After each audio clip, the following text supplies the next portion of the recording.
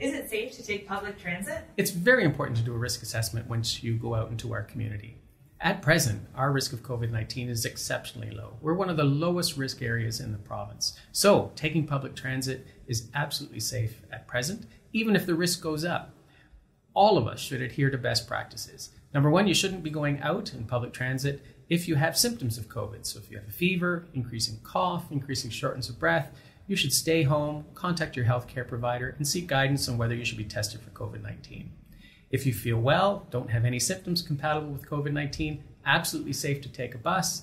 Wash your hands, put on a mask. While you're at the station, have the mask on as you prepare to enter the bus. Continue to wear the mask for the full time that you're on the bus because you can't physically distance appropriately on a bus for the most part.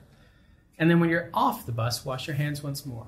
Those basic precautions of ensuring that you're not getting on the bus with symptoms, that you're washing your hands, that you're wearing a mask, you're trying to maintain physical distancing as best you can, will ensure that our transit system remains safe for everyone in our community, even when we have increased COVID activity in 2020.